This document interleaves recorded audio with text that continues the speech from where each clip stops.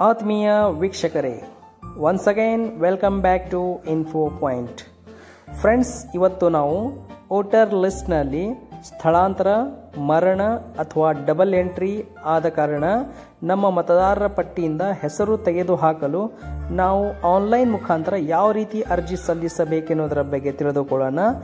ನಾವು ಮೊಟ್ಟ ಮೊದಲು ನಮ್ಮ ಮೊಬೈಲ್ನಲ್ಲಿ ವೋಟರ್ ಹೆಲ್ಪ್ಲೈನ್ ಎನ್ನುವ ಒಂದು ಆಂಡ್ರಾಯ್ಡ್ ಅಪ್ಲಿಕೇಶನ್ ಅನ್ನು ಇನ್ಸ್ಟಾಲ್ ಮಾಡಿಕೊಂಡು ಅದನ್ನು ನಾವು ಓಪನ್ ಮಾಡಬೇಕು. ಸೊ ಫ್ರೆಂಡ್ಸ್ ಈ ತರಹ ನೀವು ಓಪನ್ ಮಾಡಿದ ತಕ್ಷಣ ವೋಟರ್ ಹೆಲ್ಪ್ ಲೈನ್ನ ಒಂದು ಹೋಮ್ ಪೇಜ್ ಇಲ್ಲಿ ಬರುತ್ತದೆ. ಸೊ ಇಲ್ಲಿ ಈ ಹೋಮ್ ಪೇಜ್ನಲ್ಲಿ ಕಾಣುವಂಥ ಫಾರ್ಮ್ಸ್ ಎನ್ನುವ ಆಪ್ಷನ್ ಇದೆ. ಈ ಒಂದು ಫಾರ್ಮ್ಸ್ ಎನ್ನುವ ಆಪ್ಷನ್ ಮೇಲೆ ಕ್ಲಿಕ್ ಮಾಡಿ ಇಲ್ಲಿ ವೋಟರ್ ಸರ್ವಿಸಸ್ ಅವೈಲೇಬಲ್ ಆಗುತ್ತವೆ. ಸೊ ಇದರಲ್ಲಿ ನೀವು ನೋಡ್ತಾ ಇದ್ದೀರಾ ಡಿಲಿಷನ್ ಫಾರ್ಮ್ ಸೆವೆನ್ ಇದೆ.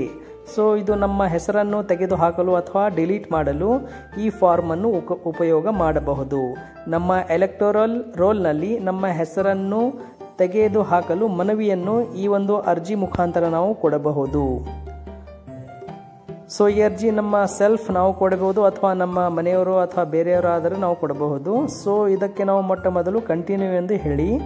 ಸೊ ಇಲ್ಲಿ ಇದೊಂದು ರಿಕ್ವೆಸ್ಟ್ ಲೆಟರ್ ಲೆಟರ್ ಆಗಿದ್ದರಿಂದ ಇಲ್ಲಿ ನಾವು ಮೊಟ್ಟ ಮೊದಲು ನಮ್ಮ state, the electoral registration officer, Karnataka ಅಥವಾ ನಿಮ್ಮ ಡಿಸ್ಟಿಕ್ ಕೂಡ ನೀವು ಸೆಲೆಕ್ಟ್ ಮಾಡಬೇಕು. ನಂತರ ಅಸೆಂಬ್ಲಿ ಕೂಡ ಸೆಲೆಕ್ಟ್ ಮಾಡಿ.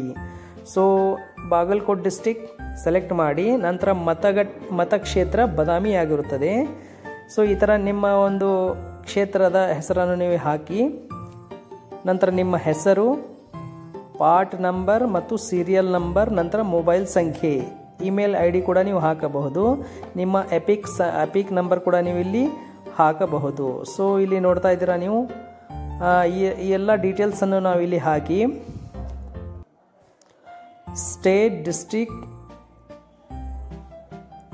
ಮತ್ತು ಕ್ಷೇತ್ರದ ಹೆಸರು, ನಂತರ ನಮ್ಮ ಹೆಸರು, ಭಾಗ ಸಂಖ್ಯೆ, ಅದರಲ್ಲಿರುವಂಥ ಕ್ರಮ ಸಂಖ್ಯೆ ಮೊಬೈಲ್ ಸಂಖ್ಯೆ ಮತ್ತು ನಮ್ಮ ಎಪಿಕ್ ನಂಬರ್ ಇವೆಲ್ಲ ಹಾಕಿ ನಾವು I object for inclusion or seeking deletion of name in electoral.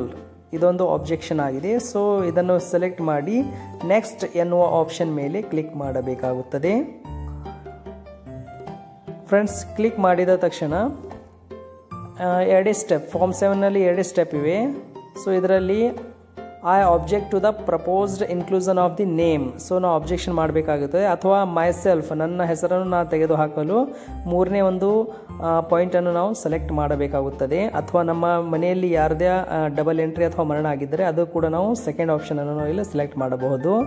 So I request the the entry relating to myself is to be deleted from electoral roll ಇಲ್ಲಿ ಒಂದು ಡಬಲ್ ಎಂಟ್ರಿ ಆಗಿರುವುದರಿಂದ ನನ್ನದೇ ಆದ ಒಂದು ಹೆಸರು ಡಬಲ್ ಎಂಟ್ರಿ ಆಗಿರೋದರಿಂದ ಅದನ್ನು ನಾನು ಒಂದನ್ನು ತೆಗೆದು ಹಾಕುತ್ತೇನೆ ಅದಕ್ಕೋಸ್ಕರ ನಾನು ರಿಕ್ವೆಸ್ಟನ್ನು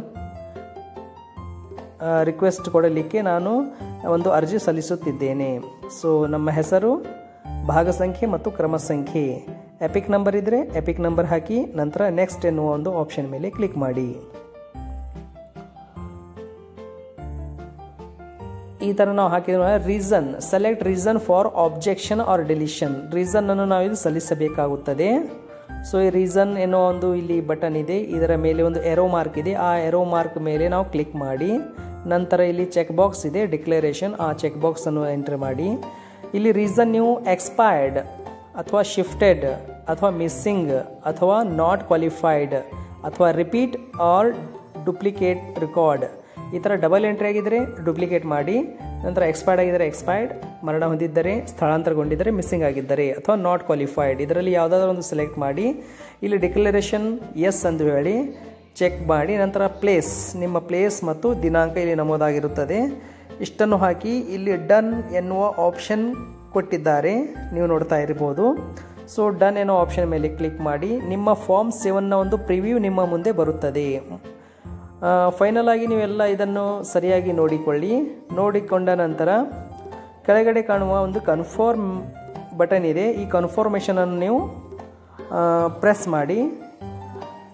ಈ ಥರ ಪ್ರೆಸ್ ಮಾಡಿದ ತಕ್ಷಣ ನಿಮ್ಮ ಅರ್ಜಿ ಸಲ್ಲಿಕೆಯಾಗುತ್ತದೆ so thank you your application has been ಸಬ್ಜೆ submitted successfully ನಿಮಗೊಂದು ರೆಫರೆನ್ಸ್ ನಂಬರ್ ಕೂಡ ಬರುತ್ತದೆ. ಆ ರೆಫರೆನ್ಸ್ ನಂಬರನ್ನು ನೀವು ನಿಮ್ಮ ಬಳಿ ಇಟ್ಟುಕೊಳ್ಳಿ. ನಂತರ ಮುಂದಿನ ಒಂದು ನಿಮಗೆ ಯೂಸ್ ಆಗಬಹುದು. ಓಕೆ ಫ್ರೆಂಡ್ಸ್ ನಮ್ಮ ಒಂದು ಈ ವಿಡಿಯೋ ನಿಮಗೆ ಇಷ್ಟವಾದರೆ ನಮ್ಮ ಈ ವಿಡಿಯೋ ಲೈಕ್ ಮಾಡಿ, ನಂತರ ನಮ್ಮ ಚಾನಲನ್ನು ಸಬ್ಸ್ಕ್ರೈಬ್ ಮಾಡಿ, ನಂತರ ಇತರರಿಗೆ ನಮ್ಮ ವಿಡಿಯೋಸ್ಗಳನ್ನು ಶೇರ್ ಮಾಡಿ. ಧನ್ಯವಾದಗಳು.